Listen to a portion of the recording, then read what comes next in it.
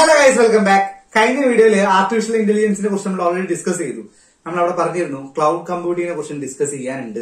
ഇന്നത്തെ ടോപ്പിക്കാണ് cloud computing എന്താണ് ക്ലൗഡ് കമ്പ്യൂട്ടിംഗ് നമുക്ക് ഇപ്പോ ഗെയിം കളിക്കാൻ ഉദാഹരണം പറഞ്ഞുതരാം.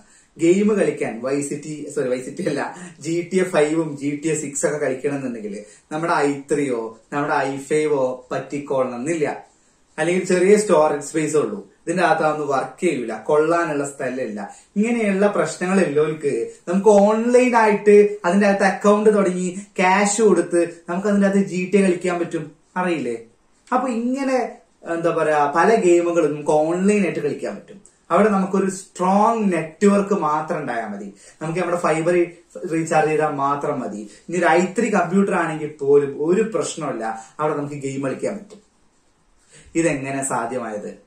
ക്ലൗഡ് കമ്പ്യൂട്ടിങ്ങിലൂടെ സാധ്യമായത്. കാരണം നമുക്ക് ഇത് വർക്ക് ചെയ്യേണ്ട സിസ്റ്റം അത് വേറെ ഏതോ ഒരു നാട്ടിൽ അവരുടെ കമ്പ്യൂട്ടർ ഉണ്ട്. ആ കമ്പ്യൂട്ടർ എന്ന് പറഞ്ഞു കഴിഞ്ഞാൽ ഹെവി സ്ട്രോങ് കമ്പ്യൂട്ടർ ആയിരിക്കും. അതിന്റെ അകത്ത് ചിലപ്പോൾ മാക്കിന്റെ പ്രോസസ്സറും എം ടു എം ത്രീ പ്രോസസ്സറും ഒക്കെ ആയിരിക്കും. അതേപോലെ തന്നെ സ്ട്രോങ് എന്താ പറയാ അതിനകത്ത് അടിപൊളി റാം ഒക്കെ ഉണ്ടാവും. നല്ല കോസ്റ്റ്ലി ആയിട്ടുള്ള സാധനങ്ങൾ അവിടെ ഉണ്ടാവും. അവിടെ ഹീറ്റിങ്ങിനെ കൂൾ ചെയ്യാൻ വേണ്ടിയിട്ട് ഫാനുകൾ ഉണ്ടാവും. ഇതൊന്നും നമ്മൾ അറിയേണ്ട കാര്യമില്ല. നമ്മൾ അവർക്ക് അതിന്റെ ഒരു റെന്റ് മാത്രം കൊടുത്താൽ മതി. ഇതൊന്നും സൂക്ഷിക്കേണ്ട ആവശ്യം നമുക്കില്ല. ഇതാണ് അവർ ചെയ്യുന്നത്. എന്നിട്ട് ഈ സംഭവം നമ്മുടെ കമ്പ്യൂട്ടറിലോട്ട് അവർ റിമോട്ടിൽ ഇട്ട് തരും നമുക്ക് നമ്മുടെ കമ്പ്യൂട്ടറിൽ കളിക്കുന്ന പോലെ തന്നെ കളിക്കാം. പക്ഷെ നമ്മൾ കളിച്ചുകൊണ്ടിരിക്കുന്നത് അവരുടെ കമ്പ്യൂട്ടറിലാണ് എന്ന് മാത്രം. ഇതാണ് ക്ലൗഡ് കമ്പ്യൂട്ടിംഗ് എന്ന് പറയുന്നത്. ഓക്കെ എന്താണ് cloud computing cloud computing refers to the delivery of computer services over the internet ഇന്റർനെറ്റിലൂടെ computer സർവീസുകൾ നമുക്ക് തരുന്നതിനെയാണ് ക്ലൗഡ് കമ്പ്യൂട്ടിംഗ് എന്ന് പറയുന്നത്. ഈ ക്ലൗഡ് ക്ലൗഡ് നമ്മൾ കുറെ കേട്ടിട്ടുണ്ട് അല്ലേ ഈ സ്റ്റോറേജ് സ്പേസുകൾ നമ്മുടെ മൊബൈലിലും നമ്മുടെ ലാപ്ടോപ്പിലൊക്കെ സ്റ്റോറേജ് ഇല്ലെങ്കിൽ നമ്മൾ ക്ലൗഡ് എടുക്കാറുണ്ട്. അല്ലെ? Cloud Google drive ഉപയോഗിച്ചിട്ടില്ലേ?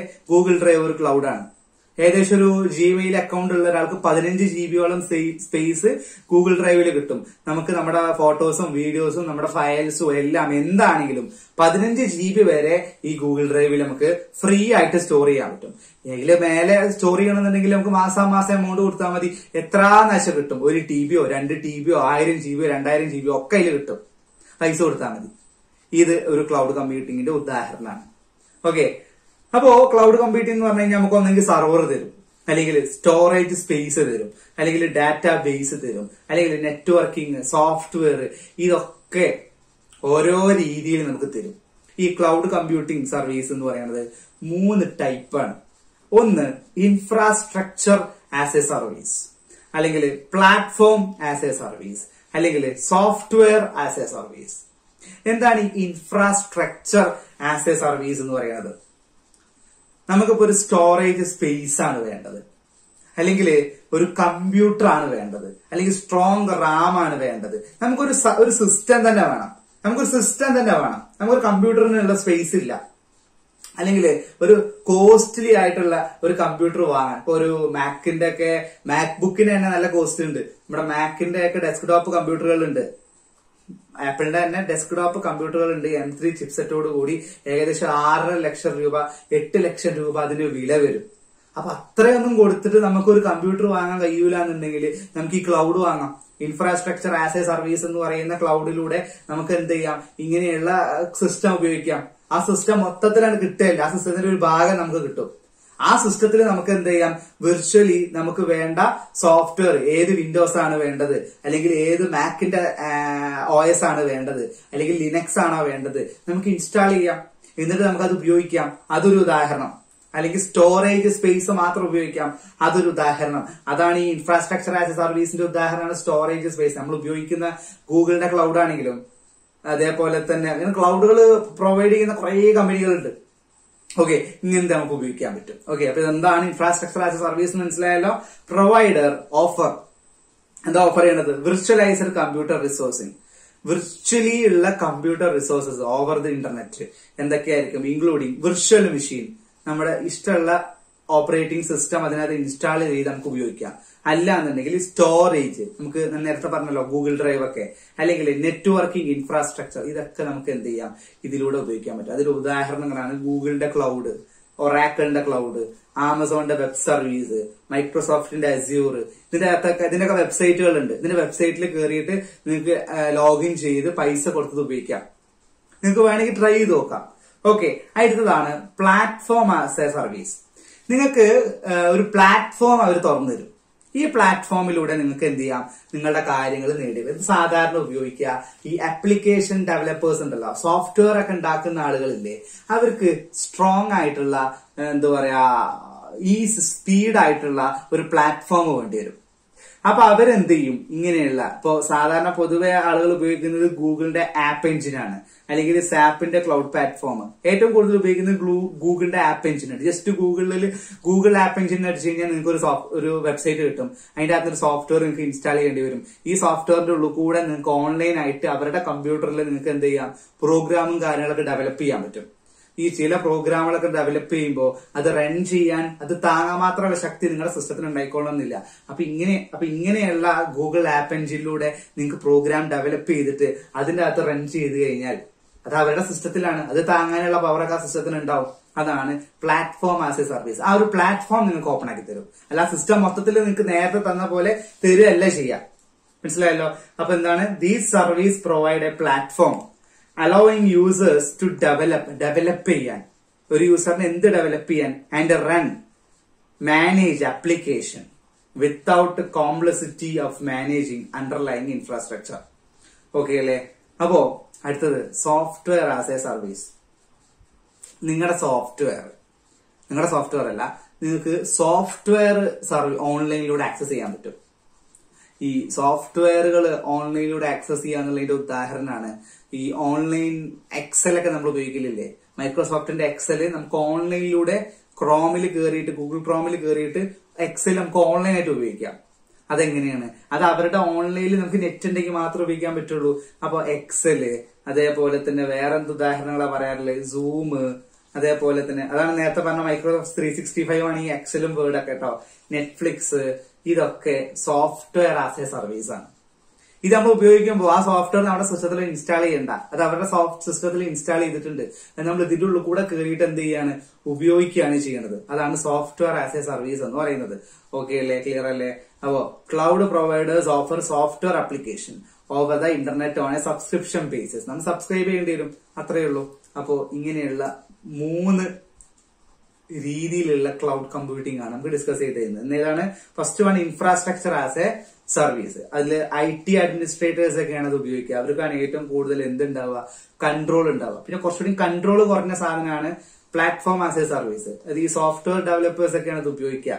പിന്നെ ഉള്ളതാണ് സോഫ്റ്റ്വെയർ ആസ് എ സർവീസ് അത് ഈ നമ്മളെ പോലത്തെ എൻഡ് യൂസേഴ്സ് നമ്മളെ പോലത്തെ ആളുകളാണ് അതൊക്കെ ഉപയോഗിക്കുക. അതിനുള്ള ഉദാഹരണങ്ങൾ ഇവിടെ തന്നെ കൊടുത്തിട്ടുണ്ട്. ഈ എൻഡ് യൂസേഴ്സ് ഉപയോഗിക്കുന്ന software as a base Gmail അതേപോലെ ഗൂഗിളിന്റെ docs office three sixty five ഗൂഗിളിന്റെ ഡോക്യുമെന്റ് നമ്മൾ ഉപയോഗിക്കില്ലേ ഈ ഗൂഗിളിന്റെ ഫോമുകൾ ഉപയോഗിക്കില്ലേ അതൊക്കെ തന്നെ. പിന്നെ platform as സർവീസിന്റെ Google app engine elastic beanstalk ഇതൊക്കെ അതിന്റെ ഉദാഹരണങ്ങളാണ്. ഇതൊക്കെ നിങ്ങൾക്ക് എന്ത് ചെയ്ത് നോക്കാം? ഗൂഗിൾ ചെയ്ത് അതൊക്കെ പഠിക്കാമെങ്കിൽ പഠിക്കാനും പഠിക്കുന്നത് നല്ലതാണ്. ഓക്കെ ഇനി ഇതിന്റെ അഡ്വാന്റേജസും ഡിസ്അഡ്വാന്റേജസ് എന്താ?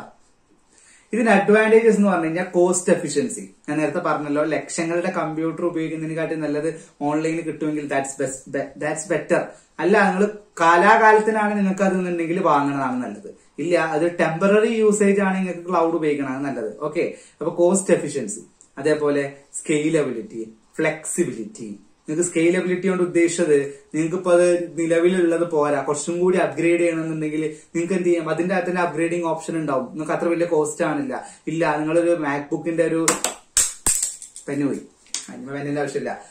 മാക്ബുക്കിന്റെ ഇപ്പൊ ഞാനൊരു മാക്കിന്റെ ഒരു പ്രശ്നം ഞാൻ പറഞ്ഞുതരാം. ഞാൻ മാക്ക് വാങ്ങിക്കഴിഞ്ഞാൽ അതിന്റെ അകത്ത് നമുക്ക് റാം ചിലപ്പോ അപ്ഗ്രേഡ് ചെയ്യാൻ പറ്റിക്കൊള്ളുന്നില്ല അതേപോലെ തന്നെ സ്റ്റോറേജ് സ്പേസ് ഐഫോണിന്റെ കാര്യം അറിയാലോ. ഐഫോൺ വാങ്ങിക്കഴിഞ്ഞാൽ പിന്നെ അതിലുള്ള സിക്സ്റ്റി ഫോർ ജി ബി ആണെങ്കിൽ സിക്സ്റ്റി ഫോർ ജി ബി കാലാകാലം കൊണ്ടു നടക്കണം. എസ് ഡി കാർഡ് പോലും ഇടാൻ സമയക്കൂല അങ്ങനെ കൊണ്ടു നടക്കണം. അതാണ് അതിന്റെ ഒരു പ്രശ്നം. അപ്പൊ അപ്ഗ്രേഡ് ചെയ്യാന്ന് പറയുമ്പോൾ മൊത്തത്തിൽ അപ്ഗ്രേഡ് ചെയ്യേണ്ടി വരും നമ്മൾ. പുതിയ ഐഫോൺ തന്നെ വാങ്ങേണ്ടി വരും. പക്ഷെ ഇങ്ങനെ നമ്മൾ ഓൺലൈനിലൂടെ ഉപയോഗിക്കുകയാണെങ്കിൽ നമുക്ക് അവിടെ സ്കേലബിലിറ്റി ഉള്ള ഓപ്ഷൻ ഉണ്ട്. നമുക്ക് അവിടെ തന്നെ ഇട്ടിട്ട് എന്ത് ചെയ്യാം? ഇതല്ല ഇതിന്റെ അടുത്ത സ്റ്റേജ് വേണമെന്ന് പറഞ്ഞാൽ അവർ ചെയ്തോളൂ. നമ്മൾ അറിയേണ്ട ആവശ്യമില്ല. നമുക്ക് ചെറിയൊരു എമൗണ്ട് കൊടുത്താൽ മതി. എക്സ്ട്രാ അതേപോലെ ഫ്ലെക്സിബിലിറ്റി താങ്ക്സ് പറയാനായിട്ടില്ല. മൗസ് വർക്ക് ചെയ്യുന്നില്ല. സോറി കേട്ടോ ഫ്ലെക്സിബിലിറ്റി ഫ്ലെക്സിബിൾ ആണ്. നമുക്ക് എവിടെ നിന്നും നമുക്ക് ആക്സസ് ചെയ്യാം. അതതിന്റെ ഒരു ഉപകാരമാണ്. നമ്മുടെ സിസ്റ്റം വീട്ടിലാണെങ്കിൽ വീട്ടിൽ നിന്ന് മാത്രമേ നമുക്ക് ഉപയോഗിക്കാൻ പറ്റുള്ളൂ. നമുക്ക് ഒരു ഇന്റർനെറ്റ് കണക്ഷൻ ഉണ്ടെങ്കിൽ ഒരു ലാപ്ടോപ്പ് ഉണ്ടെങ്കിൽ നമുക്ക് എവിടെ നിന്ന് നമുക്ക് എന്ത് ചെയ്യാം? ഇത് ആക്സസ് ചെയ്യാൻ പറ്റും. അടുത്ത ഡിസഡ്വാന്റേജസ് നമുക്ക് നോക്കണേ. സെക്യൂരിറ്റി കൺസേൺ സെക്യൂരിറ്റി വലിയൊരു പ്രശ്നമാണ്. കാരണം ഈ സാധനം അവരുടെ കയ്യിലാണ്. അവരത് ദുരുപയോഗം ചെയ്യോ? അവരതിന്റെ അകത്ത് കയറി നോക്കും. ഒന്നും പറയാൻ പറ്റില്ല. നമ്മളൊക്കെ ഭയങ്കര ധൈര്യത്തിലാണ് ഗൂഗിൾ ഫോട്ടോസിലൊക്കെ കയറി നമ്മുടെ ഫോട്ടോസ് ഒക്കെ സേവ് ചെയ്ത് വെച്ചിരുന്നത് ഈ സാധനം കിടക്കുന്ന ഗൂഗിളിന്റെ സെർവറിലാണ് നാളെ ഒരാൾ വന്നിട്ട് ഗൂഗിളിന്റെ സെർവർ ഹാക്ക് ചെയ്ത് കഴിഞ്ഞാൽ നമ്മുടെ ഫോട്ടോസും നമ്മുടെ പേഴ്സണൽ ഡീറ്റെയിൽസും നമ്മുടെ എ ടി എം കാർഡ് നമ്പറും പാസ്പോർട്ടിന്റെ സ്ക്രീൻഷോട്ട് വരെ അതിന്റെ അകത്തുണ്ട്. ഒക്കെ അടിച്ചോണ്ട് പോകും. ഇനി ഗൂഗിളിന്റെ ആൾക്കാരെ അതിന്റെ അകത്ത് കയറി നോക്കണില്ല എന്താ ഉറപ്പ്. വാക്കാലേ തന്നെ ഉറപ്പല്ലേ? അല്ലെങ്കിൽ ഒരു പേപ്പറിൽ ഒപ്പിട്ട് തന്നൊക്കെയല്ലേ? അല്ലെ? ഞങ്ങൾ നോക്കത്തില്ല എന്ന് ഒപ്പിട്ട് തന്നൊക്കെയല്ലേ? നോക്കൂല എന്ന് എല്ലാം ഉറപ്പും നിങ്ങൾക്ക് ഉണ്ടോ അങ്ങനെ ഒരു വലിയ സെക്യൂരിറ്റി കൺസേൺ അവിടെ ഉണ്ട്. അടുത്തത് ഡിപ്പെൻഡൻസി അവരെ പോയി നമ്മൾ എന്ത് ചെയ്യേണ്ടി വരും? ഡിപ്പെൻഡ് ചെയ്യേണ്ടി വരും. അതേപോലെ ഇന്റർനെറ്റ് കണക്ടിവിറ്റി നമ്മുടെ ഇന്റർനെറ്റ് കണക്ടിവിറ്റി സ്ട്രോങ് അല്ലെങ്കിൽ പണി കിട്ടും. ഇന്റർനെറ്റ് കണക്ഷൻ ഇല്ലെങ്കിൽ അപ്പോഴും പണി കിട്ടും. ക്ലിയർ ആണല്ലോ? ഓക്കെ അപ്പൊ നേരത്തെ നമ്മൾ കോസ്റ്റ് എഫിഷ്യൻസി പറഞ്ഞപ്പോഴും ഡിസഡ്വാന്റേജിലും ഉണ്ട് കേട്ടാ ഒരു കോസ്റ്റിന്റെ ഇഷ്യൂ അവിടെ വരും. ഇത് അത്ര വില കുറഞ്ഞ സാധനമൊന്നുമല്ല. നമ്മൾ ഈ ഹാർഡ്വെയറിനെ വെച്ച് നോക്കുമ്പോൾ കോസ്റ്റ് എഫിഷ്യന്റ് ആണെങ്കിലും ഈ ഒരു സംഭവം ഉപയോഗിക്കുക എന്ന് പറയുമ്പോൾ കുറച്ച് എമൗണ്ട് കൊടുക്കേണ്ടി വരും. ഓക്കെ അപ്പൊ ഇത്രയും കാര്യങ്ങളാണ് ക്ലൗഡ് കമ്പ്യൂട്ടിംഗിന്റെ അകത്ത് ഡിസ്കസ് ചെയ്യാനുണ്ടായിരുന്നത്. അപ്പോ ടെക്സ്റ്റ് ബുക്ക് വായിക്കാം നോട്ട് ചെയ്യാൻ ഡിസ്ക്രിപ്ഷൻ ബോക്സിൽ കൊടുക്കാം. ക്വസ്റ്റ്യൻസ് ചെയ്യാൻ മറക്കണ്ട. അടുത്ത വീഡിയോയിൽ കാണാം. ബൈ